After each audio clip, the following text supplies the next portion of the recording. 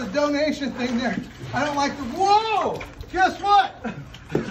He wants to help us out. Okay, come on, come on, back in, bro.